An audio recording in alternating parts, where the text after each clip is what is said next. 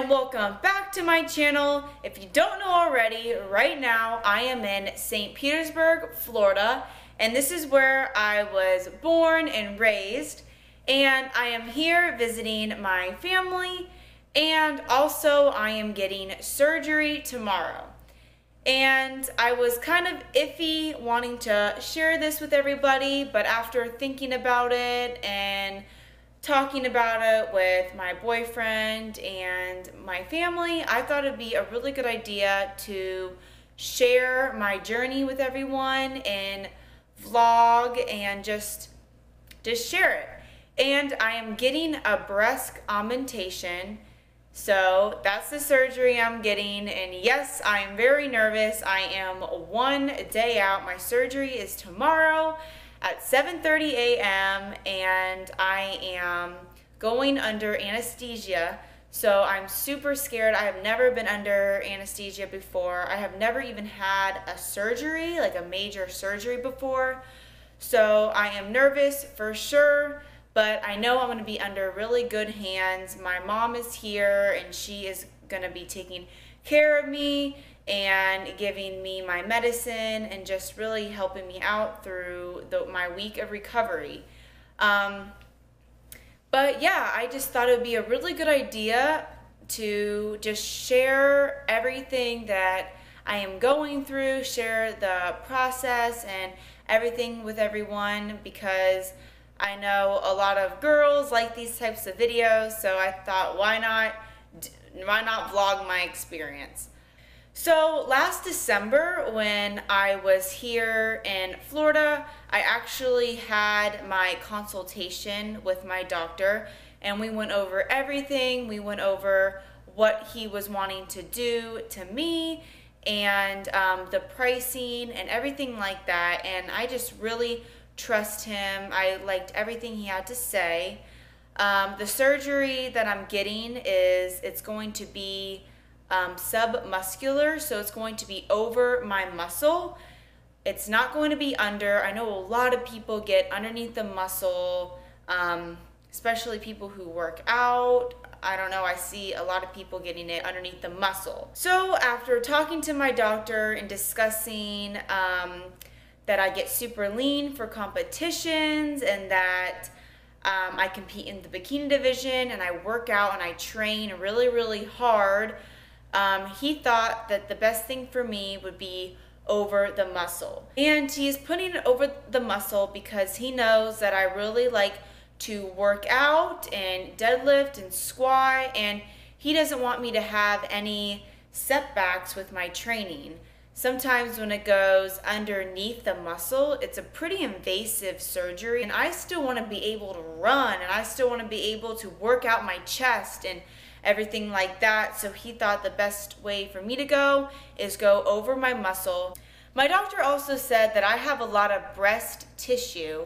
So when he was examining me, he saw that I had a lot of it and said that even if I was super lean for a competition, I mean, I told him that I am like 20 pounds above stage weight. I showed him my stage shots. I showed him what I look like when I'm all lean and everything like that. And he said it is not going to show through. He says when I'm super lean, you're not going to see the the implant. And the way he is doing it, it's not going to be invasive at all. It's going to be a really simple, easy surgery. I'm going to be able to recover very quickly and be able to get back into to the gym very fast.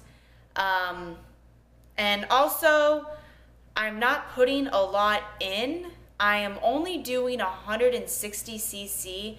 And I know a lot of people get up to like 300 cc or um, I don't know, 500. I mean, everybody is different. But for me, he's only going to be putting in 160 cc.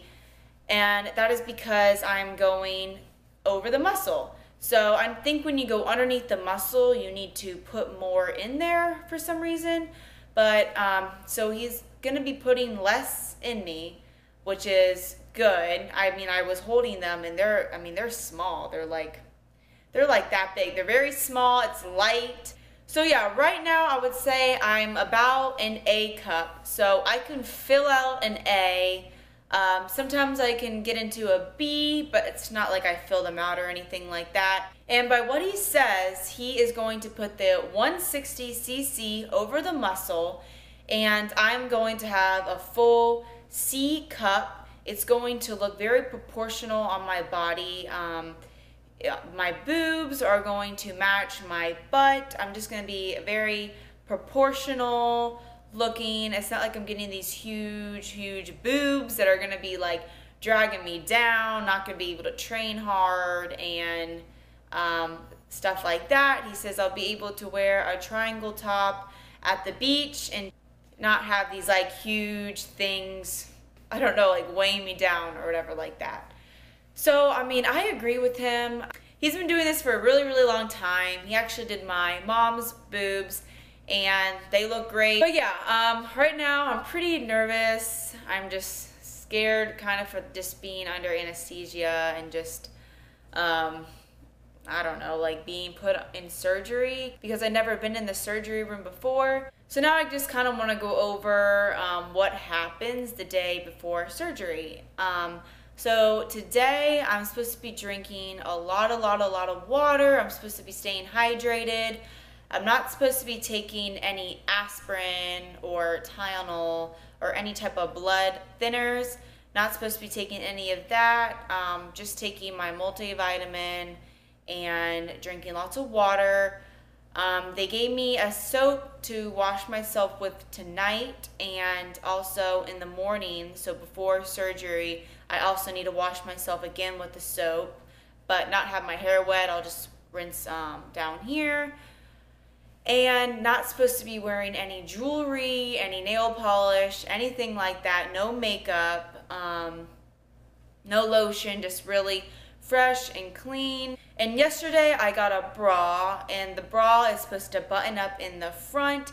I just went to Walmart and I got like this $10 set. There's two of them and they they literally just like clip up in the front. I'll make sure I show you guys what it looks like. And I have always wanted uh, to get a breast augmentation done ever since I was um, in high school, I've just always had small boobs, and also when I'm competing, I know that, I mean, my, I don't have that much symmetry. When you have bigger boobs, it makes your waist look smaller. Um, it just, your overall look and your overall appearance looks better. Um, I just, I'm not getting like these huge, huge boobs that are gonna like overtake my body or and just not make me look proportional. I'm getting them proportional to my body and my butt and just everything like that. Um, so yeah, next time when I'm on stage, I don't have to like shove my boobs and I lose all my boobs when I'm like pretty much lean. I mean, I have the breast tissue. I mean, I really don't have anything to really, really just like push up and look better. And I didn't forget to tell you, but I am getting a, a silicone implant. So the silicone implant is more um, of a gummy type of feeling to it. I know saline is um, like there's kind of like it's like more watery. So this one, if you cut it in half, it would all stay together. When the saline, if you cut it, all the water would come out.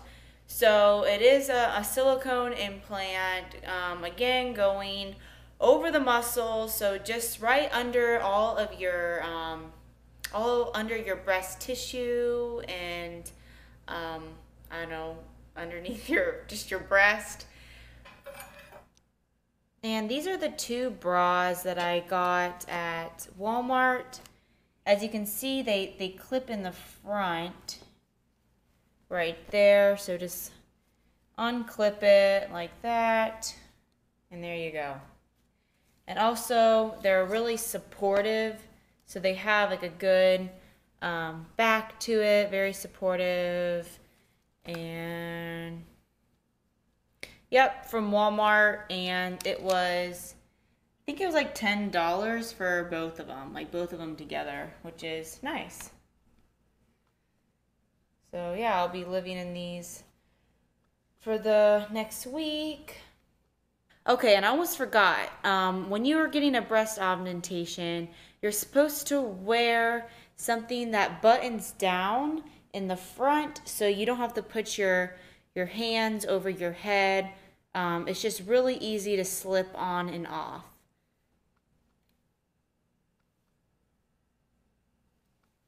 So yeah, I'm not supposed to be taking any Tylenol, any blood thinners, or anything like that. I'm supposed to eat or drink anything past 12 o'clock tonight. And then not supposed to eat anything in the morning or not supposed to drink any water or anything like that before my surgery.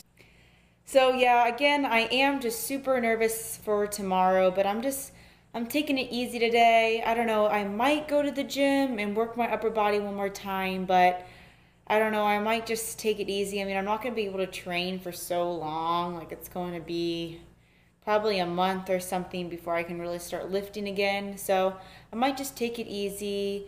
Um, I'm going to try to count my food too because I really don't want to be gaining a lot of excess fat because I will be laying around a lot. Um, and I'll tell you guys, like, if I do count my food, like, what my macros would be, like, a good number for me um, just enough for me to recover and heal and fuel my body, but not at the extent that I've been eating because I've been lifting weights and deadlifting and squatting and, and that just really takes a lot out of you. But yeah, I'm probably just gonna take it easy and I'm just gonna try to vlog as much as I can every day. Um, maybe I'll have my mom hold up the camera for me or something like that and just yeah, I, I really want to get as much footage. I really want to just share the whole process with everyone, this in the whole recovery process. Um, so yeah, I hope you guys are gonna enjoy this series and get something out of it and learn something. Um, if you have any questions down below, um, please just comment down below and ask me questions, and I'll be happy to answer them. Again, thank you all for watching and yeah, see you guys surgery day tomorrow.